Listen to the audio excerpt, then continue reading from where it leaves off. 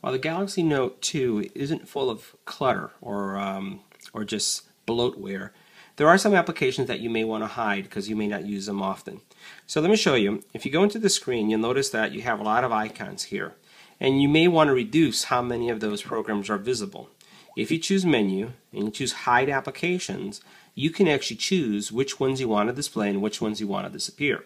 So now, for example, I want to say I want to get rid of, let's say, the Kies Air software. And I'd like to get rid of Media Hub and also Music Hub, and I think that's pretty much it. By saying done, by clicking on done, notice how those items disappeared off screen. I did not delete them, I just hid them. To make them come back, all you do is just choose menu and move up a little bit. And that's a trick. You notice it's kind of hidden until you slide up and it says show hidden applications. These are all the apps that I had that were hidden. Now by simply choosing that one, so I'll go back to that uh, Kies software, I'll choose that and I'll also choose, eh, that's about it, and I'll choose done. And once I've done that, that application uh, will come back. Notice how it showed up. So that's a quick way on how you can reduce the number of um, applications that show up on the screen and hiding them and also unhiding them.